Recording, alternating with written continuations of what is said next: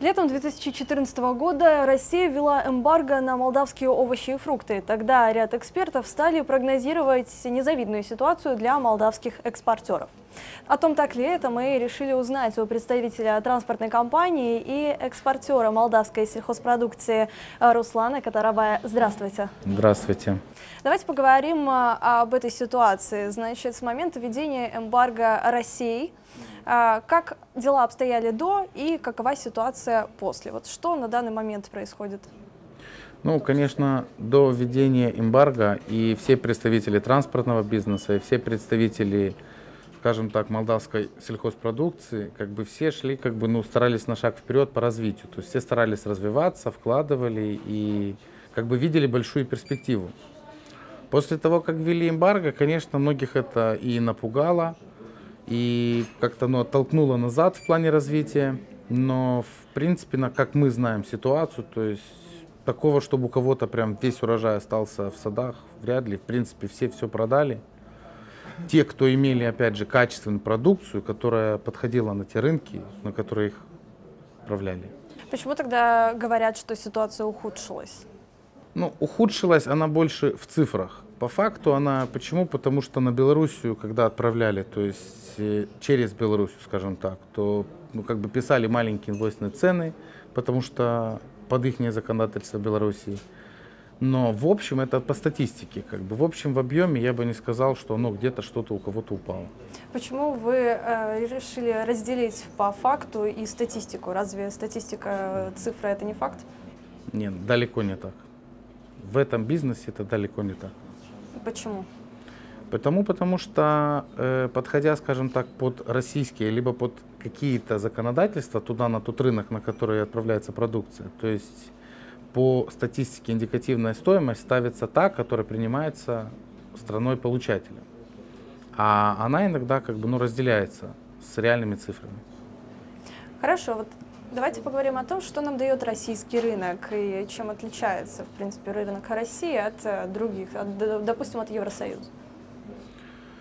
Ну, судя по моему, скажем так, опыту, то есть Россия это, в принципе, смелых 70-90% объема продукции, что касается фруктов, то есть это, в принципе, потребляется там 70-90%. Поэтому в Европе, ну в Европе, да, где-то в какие-то страны кто-то что-то отправлял. Но это нельзя назвать каким-то объемом или какими-то объемными продукцией или большой перспективой. Все-таки вся перспектива лежит в российском рынке. Молдавской экономике что дает экспорт овощей и фруктов? Ну, мне кажется, экспорт овощей и фруктов молдавской экономике дает очень много, так как это большая отрасль, то есть это химикаты, люди имеют работу в селах, аграрии развиваются, аграрии покупают тоже дистопливо, транспортники, скажем так, молдавские, вывозят эту продукцию. И так, ну, это очень много дает. А можно сказать, что после эмбарго на нашу продукцию а, наши производители стали сильнее? Есть такая? Тут, э, скажем прогноз? так, это последние года, то есть диктует, в принципе, больше рынок. Не столько эмбарго, сколько сама тенденция рынка. Так как, э, то есть требования к качеству, будь то молдавская, чья бы то ни было сельхозпродукция, она как бы, ну, качество, скажем так, запросы качества увеличиваются. Соответственно, им нужно подтягиваться.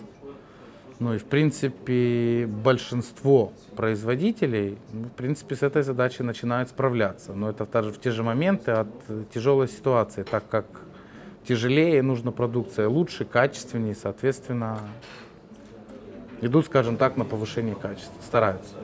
Угу. А все-таки претензии были больше к качеству или все же они были политическими? Вот как по-вашему? Ну, если опять же официальная, как бы, то есть, ну, как бы причина эмбарго, ну, то, конечно же, это, безусловно, политический.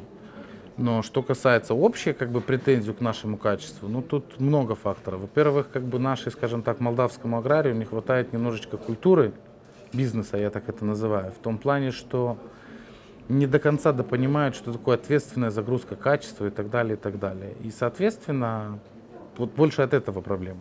Скажите, вот э, какие у вас прогнозы на будущее? Вот, э, станет ли лучше ситуация или наоборот ухудшения какие-либо?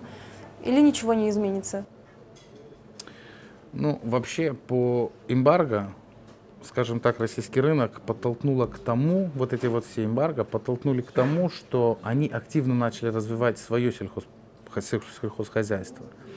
И за последние 3-4 года наблюдается такая тенденция, что мы, скажем так, позднее начинаем, то есть мы больше промежуток времени ждем, пока Россия продаст, скажем так, свою сельхозпродукцию, только потом в больших объемах начинает продаваться наши и соседние государства. В будущем, ну, у нас только один как бы вариант, это подтягиваться по качеству, скажем так, по тем критериям, которые диктует сегодняшний рынок. Ну и с такими критериями, в принципе, перспектива есть. Последний вопрос. Как же все-таки эта ситуация повлияла на вас? Эмбарго на вас отразилось?